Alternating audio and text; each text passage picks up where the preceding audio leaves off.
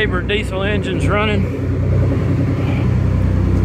Go up there, give everybody a quick rundown on how to make them run. They really like a little shot of ether, not a lot, just a little bitty touch to fire off when they're cold. So to crank them, you start here, key on, key on. These two weird switches don't have any names, are battery interconnect switches. They lock all the batteries downstairs together. Turn 1400 RPM on each one. Yeah? There's our RPM gauges. Step out at about 15. You gotta push it pretty hard. Uh, Don't yeah, don't put it in gear for God's sake. My boat's right behind it. so, and here we go. We got two switches here. Right here, this one is the kill button. This kills the motor. That's the start button. That starts the motor. There are neutral switches here. They are very particular. You have to wiggle this sucker here. Get that perfectly right to get that start switch to tachometers work. I don't know about all those other cases. 1600 each.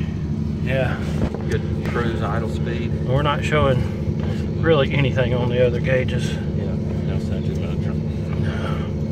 They know, I don't think they ever have worked. Oh, they work one time, sure. All right, but you can hear it running up here.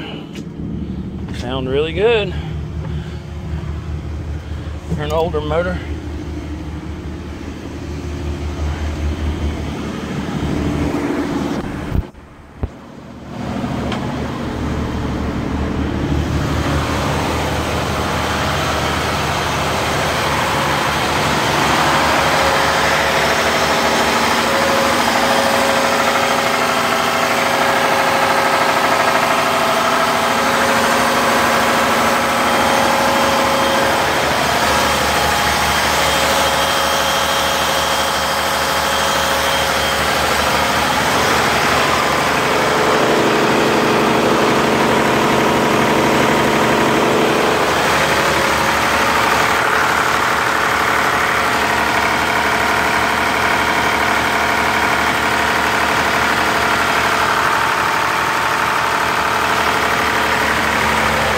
We got this one running too. This sucker fired right up. You flip it to flip it to uh, start.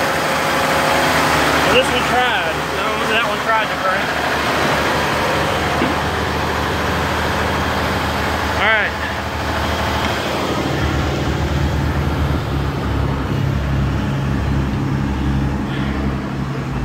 That's it. Took us all day. Put fresh oil in them top them off with water, and they're ready to roll. We can't put it in gear, but I'm sure they work because the damn boat's right behind it. My boat can chop it to shreds. All right, You did it. we did it. No, not me. We did it. There's no, there's no, there's no. I did it. We did it. I know. Awesome. you would have had fun fitting up in that last